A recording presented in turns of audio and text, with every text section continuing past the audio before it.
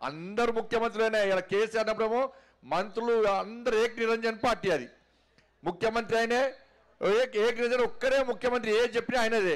ఇప్పుడు మంత్రులు వాళ్ళు మంత్రులు మంత్రులంతా డమ్మీలు అయిపోయింది ఇప్పుడు కాంగ్రెస్ పార్టీలు ఏమయ్యారు? అందరు ముఖ్యమంత్రులే. ఉన్నోళ్ళందరూ ముఖ్యమంత్రులే మంత్రులు లేరు అందరు ముఖ్యమంత్రులే. కాబట్టి ఎవరి వాళ్ళు హామీలు ఇస్తున్నారు ఇలా పన్నెండు నుంచి పదిహేను వేల ఇండ్లు కూడగొట్టి వాళ్ళ వస్తువులు పోసుకొని ఎవరి కోసం కడుతున్నారు ఎవరి కోసం తయారు చేస్తున్నావు? ఇలా మూసి ప్రక్షాళన మూసులు పునర్జీవనం మూసిస్తున్నావు ఎవరి కోసం ఇలా లక్షన్నర కోట్లు పేదల కోసం ఖర్చు పెట్టు.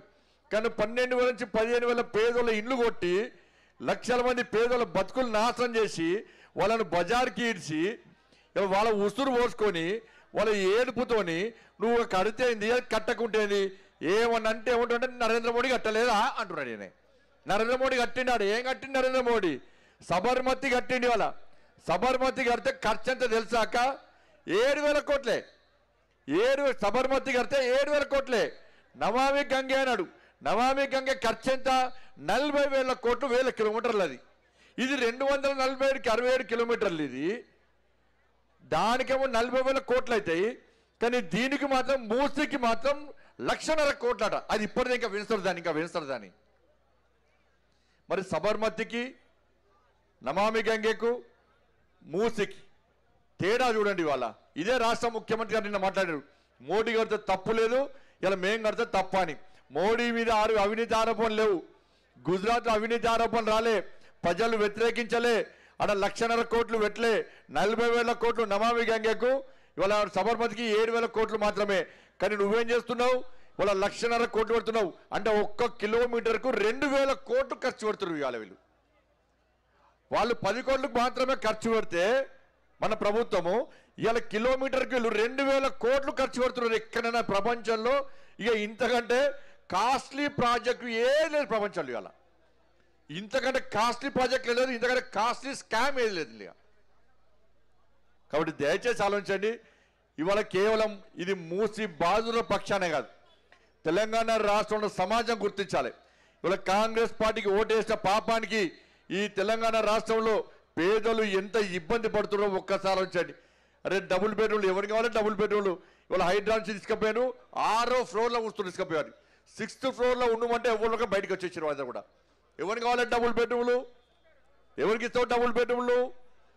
ఇలా సొంత ఇల్లు కట్టుకొని కష్టపడి కట్టుకొని అసలు ఎందుకు కొట్టాలి? నాకు అర్థం కాలేదు. ఎందుకు కొట్టాలి? వాళ్ళకు పర్మి ఇంట్లో డాక్యుమెంట్స్ ఉన్నాయి లింకు డాక్యుమెంట్స్ ఉన్నాయి. వాళ్ళు ఇంటి పన్ను కడుతుర్రు పర్మిషన్ తీసుకొని. కరెంటు మీటర్ తీసుకున్నారు పన్ను కడుతుర్రు నీకు ప్రభుత్వానికి. రిజిస్ట్రేషన్ చేసుకున్నారు రిజిస్ట్రేషన్ పైసలు ప్రభుత్వానికే వచ్చినాయి. ఇంకా పన్నులు కడుతూనే ఉన్నారు వాళ్ళ ద్వారా నీకు ఆదాయం వస్తుంటే వాళ్ళ ఇండ్ల కూర్చే హక్కు నీకు ఎవరిచ్చింది వాళ్ళ కాబట్టి ప్రజలు దోషులు కాదు. దోషి ప్రభుత్వమే దోషి. ప్రభుత్వమే అక్రమంగా ఇల్లు కూడగొట్టే ప్రయత్నం చేస్తున్నది. కాబట్టి దయచేసి ఆలోచించడం వల్ల ఇది కేవలం మూసి పరివారక ప్రాంతానికి సంబంధించిన సమస్య కాదు. భారతీయ జనతా పార్టీ కేవలం ఈ ప్రాంతంలో మాత్రమే ఆందోళన లేదు ఇవాళ తెలంగాణ రాష్ట్ర వ్యాప్తంగా కిషన్ రెడ్డి గారి నేతృత్వంలో చాలా సీరియస్గా మేము అగ్రెసివ్గా ఆందోళన చేస్తాం. తెలంగాణ రాష్ట్ర వ్యాప్తంగా ఇవాళ తెలంగాణ రాష్ట్రంలో భారతీయ జనతా పార్టీ చేసే ఆందోళనకు తప్పకుండా ప్రభుత్వం దిగస్తుందా? ప్రభుత్వం గద్దె దిగుతుందా?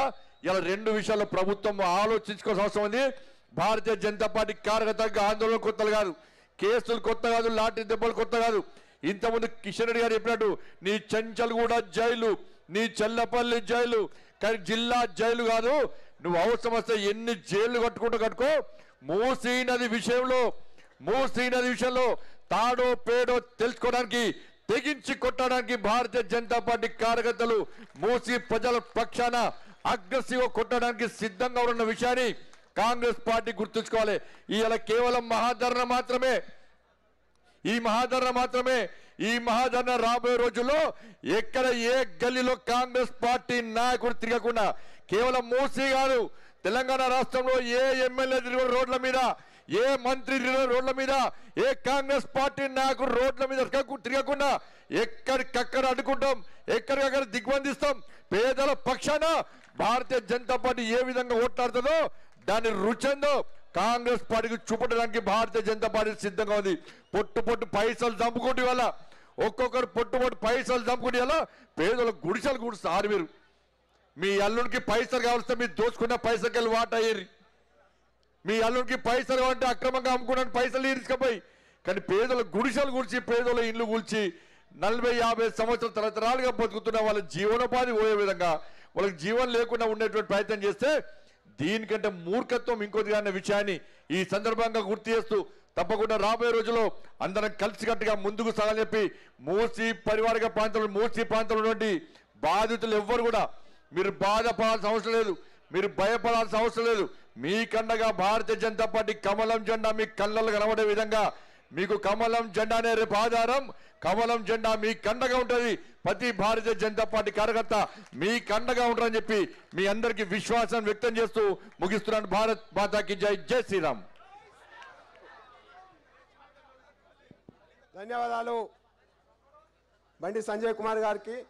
ఇప్పుడు పదిహేను రోజుల నుంచి మూసి పరివాహక ప్రాంతమంతా చెరువులు కుంటలు తిరుగుతూ ప్రజల కష్ట నష్టాలు చూస్తూ చెలించిపోయి ఉద్యమానికి శ్రీకారం చుట్టాల భారతీయ జనతా పార్టీ అని ప్రేరేపించినటువంటి గౌరవనీయులు మల్కాజ్గిరి పార్లమెంటు సభ్యులు ఈటల రాజేందర్ గారిని మాట్లాడవలసిందిగా కోరుతా ఉన్నాను.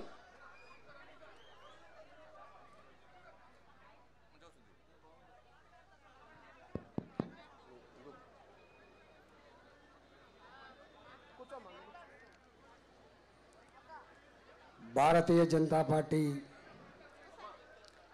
రాష్ట్ర అధ్యక్షులు కేంద్ర మంత్రివర్యులు కిషన్ రెడ్డి గారికి మూసి మూసి ప్రజల జీవితాలు సంపూర్ణంగా